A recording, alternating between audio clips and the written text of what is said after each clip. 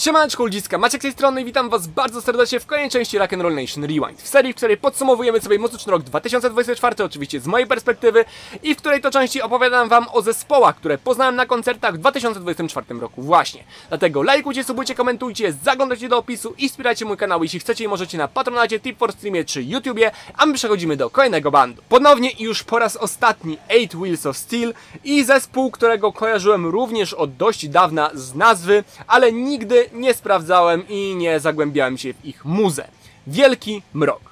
Formację kojarzę m.in. dlatego, iż do 2023 roku na basie grał tam Galin Soul Reaper, e, którego znam dobrze z Armak czy Fucking Vengeance oraz innych projektów, a na perkusji e, do dziś gra tam Maciek, którego kojarzę chociażby z Savagera oraz przez pewien czas grał również Wizmaking. A obecnie na basie obok Szramy i Czachy gra Ćwiara, którego spotkałem już e, pewnego pięknego razu w 2022 roku, kiedy to grał koncert z taką formacją jak Induced. I cóż ja mogę powiedzieć o zespole Wielkim Rock, oprócz tego, że wcześniej e, nazywali się Murf Huar i taką epkę wydali w 21, jeśli mnie pamięć nie myli, a w 23 wydali epkę Polskie Party.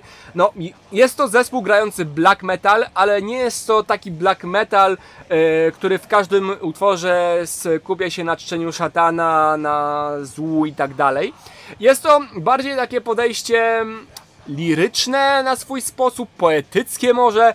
Nie wiem jak to dobrze ująć słowa, w każdym razie yy, i też muzycznie jest to bardziej, nie wiem, przystępne, nie wiem jakich dobrych słów użyć, żeby opisać muzykę Wielkiego Mroku. Jedyne co mogę powiedzieć na pewno to to, że jest to bardzo wyjątkowe i oryginalne. Może muzie Wielkiego Mroku bliżej do black and heavy metalu, aniżeli stricte e, pierwszo czy drugofalowego black metalu, ale kimże ja jestem, żeby kategoryzować muzykę zespołu i gatunkować ją.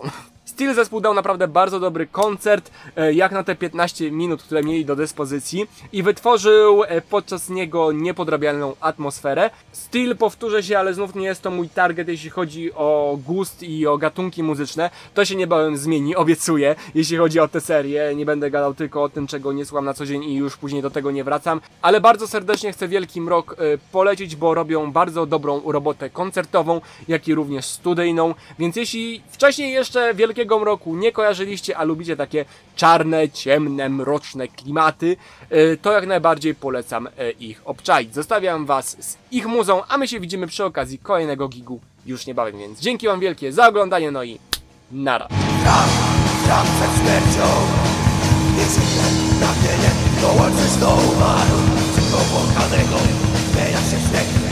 Ogień zaczyna coraz szybciej śmierci ことできます。